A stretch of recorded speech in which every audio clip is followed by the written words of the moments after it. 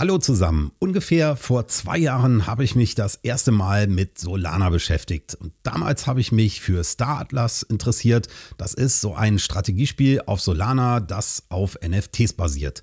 Und zu diesem Zeitpunkt hatte ich schon richtig viel Gutes über Solana gehört, wie es zum Beispiel Ethereum outperformen wird, die schnellen und günstigen Transaktionen und so weiter und so weiter.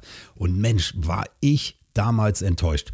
Schon beim Kauf eines einzigen NFTs haben die Transaktionen Minuten gedauert. Jede zweite Transaktion ist fehlgeschlagen und alles war irgendwie clunky und wirkte mal eben schnell zusammengezimmert.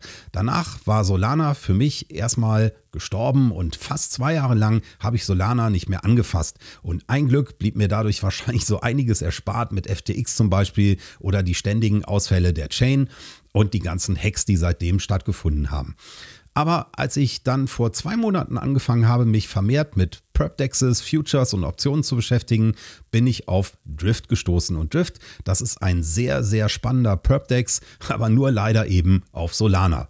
Und als ich dann Drift ausprobieren wollte, habe ich Solana eine neue Chance gegeben und ich muss sagen, dass es mich inzwischen durchaus überzeugt. Das hat dann schließlich dazu geführt, dass ich immer tiefer in Solana eingestiegen bin und nun frage ich mich einfach, muss ich Solana haben oder nicht? Jedenfalls der Solana-Preis hat in den letzten Monaten sehr stark performt und wie man hier sieht, waren wir Anfang Oktober noch bei 20 US-Dollar, Anfang November schon bei 38 US-Dollar und zwischen waren wir auch schon bei 65 US-Dollar. Stand heute liegt der Preis bei 56 Dollar, was ungefähr jetzt ein 3x ist. Die TVL von Solana ist laut DeFi Lama im letzten Monat auch um 100 Prozent angestiegen. Und das kann unter anderem daran liegen, dass wir auf Solana Airdrop Season haben. Und es hat schon einige größere Airdrops gegeben in den letzten Wochen, wie zum Beispiel Pyth oder Jupiter.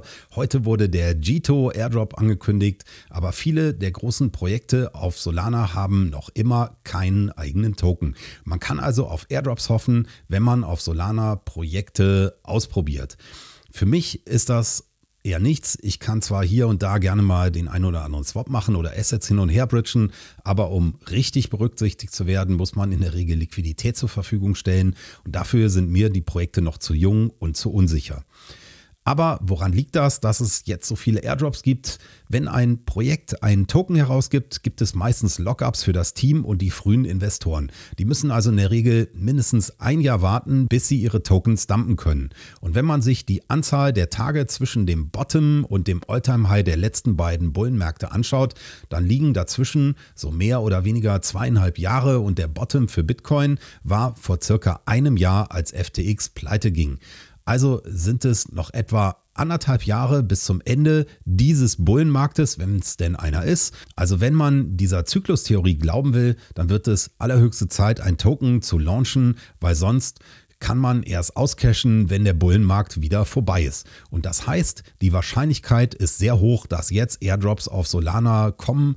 Aber wie gesagt, nicht mein Ding. Wer Lust hat, sich damit zu beschäftigen, es gibt ohne Ende Airdrop Guides auf YouTube und Krypto Twitter und ich werde wahrscheinlich auch ein paar unten in die Videobeschreibung packen. Und ich frage mich halt, wieso soll ich in Solana investieren, wenn ich Ethereum habe? Und da ist natürlich die Frage, gibt es eigentlich Innovationen auf Solana, die Ethereum nicht hat? Und hat Solana mehr Kurspotenzial bei gleichem Risiko? Und Ethereum ist ja eigentlich preistechnisch schon eine sichere Bank. Wieso sollte ich dann Assets von Ethereum nach Solana umschichten? Jedenfalls der DeFi-Space ist auf Solana grundsätzlich sehr ähnlich zu Ethereum. Es gibt eigentlich alles, was es auf Ethereum auch gibt. Nehmen wir mal Liquid Staking Tokens. Da gibt es die Projekte Marinate Soul und Jito. Die Staking-Rendite liegt da so um die 6 bis 8 Prozent, also tatsächlich sogar doppelt so hoch als bei Ethereum. Und dann gibt es natürlich auch ganz normale Dexes, wie zum Beispiel Radium oder Orca und den Dex Aggregator Jupiter, den gibt es auch noch. Der hat jetzt vor kurzem seinen eigenen Token gelauncht in einem Airdrop und zusätzlich haben wir dann noch ganz normale AMMs wie MarginFi und Camino. Das ist übrigens eine sehr gute Anlaufstelle, um nach einigermaßen werthaltigen Projekten zu suchen. Immerhin sind die hier gelisteten Tokens minimal geprüft worden, ob sie sich als Collateral eignen. Ist jetzt allerdings auch kein echtes Prüfsiegel für Qualität. Aber schon einmal mindestens Anfang. Und man sieht hier, dass es noch nicht allzu viel davon gibt. Und auf Solana gibt es sogar Perps, wo man mit Hebel Long und Short gehen kann. Da wären vor allem Drift und Zeta zu nennen. Aber im Grunde sind das alles Projekte, die es irgendwie auf Ethereum auch schon gibt. Also keine echten Innovationen, für die man zwingend auf Solana gehen muss. Ein wenig Potenzial dafür könnte im aktuellen Fire Dancer Upgrade liegen, bei dem Solana eine zweite Validator Software bekommt. Es ist tatsächlich so, dass es bislang nur eine offizielle Solana Software gibt, mit der die gesamte Blockchain betrieben wird. Das ist natürlich hochgradig fehleranfällig. Und wenn da ein Fehler drin ist, das ähm, haben dann eben alle Projekte, alle Wallets und alle Bridges, die mit Solana zu tun haben, auszubaden. Und jetzt kommt immerhin eine zweite Software namens Firedancer raus und die soll unter anderem Millionen Transaktionen pro Sekunde bringen und außerdem sollen die Hardwareanforderungen so stark sinken, dass praktisch jeder einen Validator betreiben kann und damit auch einen eigenen Stake-Pool, also selber Staking-Anbieter werden kann und sogar einen eigenen Liquid Staking-Token rausbringen kann. Und weil das dann ein wenig problematisch ist, wenn es tausende LSTs gibt, weil dadurch einfach die ganze Liquidität, die man eigentlich für einen LST braucht, total fragmentiert wird, gibt es dieses neue Projekt, das eine Liquiditäts Quelle für solche kleinen LSTs bereitstellen will. Und das Projekt heißt Sanctum und ist noch ganz am Anfang. So etwas gibt es zum Beispiel auf Ethereum nicht. Aber würde ich DeFi auf Solana jetzt wirklich ernsthaft benutzen? Also ich glaube eher nicht, weil es einfach immer noch zu neu und unausgegoren ist. Und immerhin bekomme ich dieselben Tools ja auch ähm, mit denselben Möglichkeiten auf Ethereum und den ganzen Layer 2s mit einer sehr, sehr langen Projekthistorie und damit verbunden natürlich auch mit viel mehr Sicherheit. Und auch institutionelle Anleger werden meiner Meinung nach eher auf Ethereum setzen und die ganzen vorhandenen Netzwerkeffekte nutzen. Ich meine, Ethereum-ETFs sind ja schon in der Mache und eigentlich nur eine Frage der Zeit, wenn das mit dem Bitcoin dann endlich klappt. Und Solana ist da meines Wissens noch nicht ernsthaft in Sicht. Und auf der anderen Seite ist das natürlich auch wieder ein Argument für Solana, weil es einfach unglaubliches Wachstumspotenzial hat. Und ich meine, eine hochperformante Blockchain mit super günstigen Transaktionsgebühren sollte eigentlich ganz neue Anwendungsfälle hervorbringen. Und diese Anwendungsfälle, die wird es auf Ethereum wahrscheinlich eher nicht geben. Zumindest nicht innerhalb des kommenden Bullenmarktes, weil die Technologie von Ethereum sich wirklich zurzeit eher im Schneckentempo weiterentwickelt. Und wenn erstmal dann die Gasgebühren wieder bei 100 US-Dollar sind und mehr und das dann pro Transaktion, dann sehe ich das ehrlich gesagt nicht wirklich, dass der ganze Mainstream der Retail auf einmal fröhlich zwischen den zwei Dutzend Layer 2s und Alt L1s hin und her bridged. Stattdessen wird man wahrscheinlich etwas verwenden, das super simpel zu kapieren ist und nichts kostet.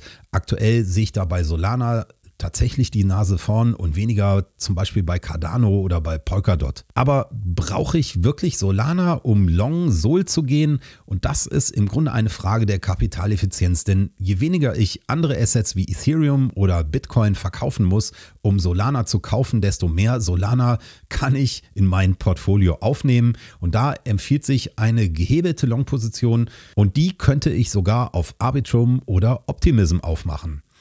Sol gibt es zum Beispiel hier bei HMX oder auch ähm, hier bei Quenta oder bei Hyperliquid oder auch gleich bei Drift oder Zeta auf Solana, wenn ich Lust habe, da mal ein bisschen rumzuprobieren. Und die Funding Rates sind mir da leider aktuell aber viel zu hoch. Bei Hyperliquid lagen die Funding Rates die ganzen letzten Wochen bei deutlich über 80 Prozent. Inzwischen sind wir mal bei so um die 50 Prozent. Und da ich jetzt für längere Zeit long gehen möchte, ist das für mich einfach viel zu teuer. Und ich habe für mich beschlossen, dass ich das Ganze lieber mit Camino auf Solana mache, wo ich mit einem immerhin Zweifachhebel long gehen kann und dabei nur 6 bis 7 Prozent Gebühren pro Jahr bezahle und da gibt es eben dieses Long-Short-Feature hier, mit dem man also fast einen 2,83, also so fast einen Dreifachhebel nutzen kann. Und da ist natürlich die Frage, wie sinnvoll das Ganze ist. Solana ist immerhin deutlich volatiler als andere Assets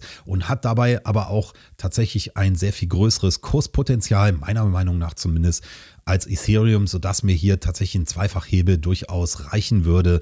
Und ähm, ich kann da also jetzt quasi in den nächsten Wochen gemütlich long drin bleiben und muss mich nicht allzu sehr um die Funding Rate kümmern. Und vielleicht kann ich ja sogar den ein oder anderen Airdrop mitnehmen, wenn ich, um da reinzukommen, irgendwas bridge oder swappe. Wer weiß, vielleicht klappt das ja. Aber ich mache das Ganze wirklich nur mit einem sehr überschaubaren Betrag, weil ich mir nicht so sicher bin, wie äh, sicher diese Projekte alle sind. Und mir persönlich ist das erstmal viel zu viel Risiko, um hier so richtig reinzuklotzen. Und daher habe ich auch eine ganz normale Long-Position aufgemacht, indem ich Sol ganz normal gekauft habe und äh, diese dann in meinem Wallet halte oder zum Teil auch einfach nur bei Gito gestaked habe. Und das ist ja eigentlich dann auch schon die Frage, die Antwort auf meine Frage, muss man Solana haben, muss ich Solana haben? Und in meinem Fall ist die Antwort auf jeden Fall ja, weil ich einerseits Solana wirklich in meinem Portfolio haben möchte und gleichzeitig aber zu schissig bin, um auf Solana DeFi im großen Stil zu betreiben und gleichzeitig auch zu geizig für die hohen Funding Rates beim Hebeln.